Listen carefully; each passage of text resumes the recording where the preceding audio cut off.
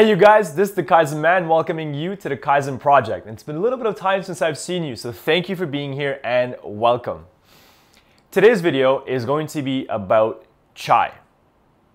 Yes, chai. Delicious, hot, flavorful masala chai. Now, I'm Indian and I kind of grew up drinking tea at home, but it wasn't until I moved to Bombay and I lived there for a couple of years and was super broke and all I could afford in the evenings was a cup of chai and a packet of Parle G biscuits. If you're from India, you know exactly what I'm talking about.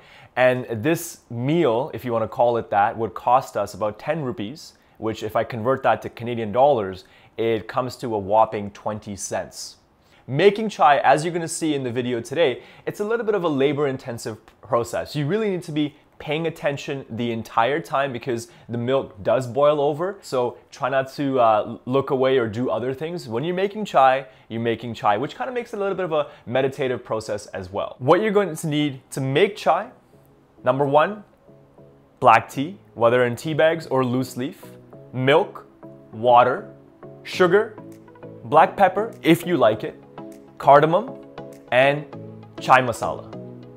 So one and a half cups of milk and I match the milk to the water. So equal parts milk and equal parts water.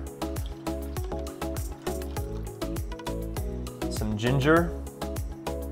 You can use fresh ginger or you can keep some frozen ginger, it's up to you. Chai masala. A little bit of black pepper. This is optional. Sugar, taste, I usually like to get at least one spoon per cup. And I want these ingredients to be able to just kind of mix together for a little while before we add the tea leaves in. And there you start to see that nice color coming through.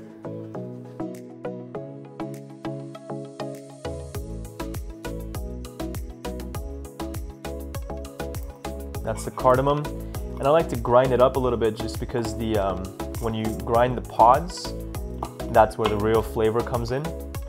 And the cardamom is nice because when you cook milk, it tends to have a kind of a scent to it that not everybody likes. So if you add the cardamom towards the end, then it just freshens up the entire flavor and really adds a nice aroma to the tea. So you can see here, nice color coming through here. It is boiling, so you, you have to keep stirring. And we're almost, almost done here. So just look at the back of the spoon and how it slides off.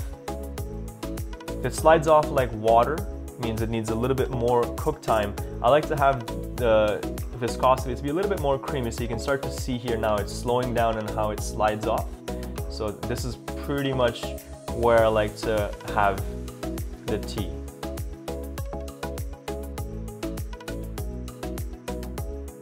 And there you have it. Delicious, hot masala chai or cutting as they call it in Bombay.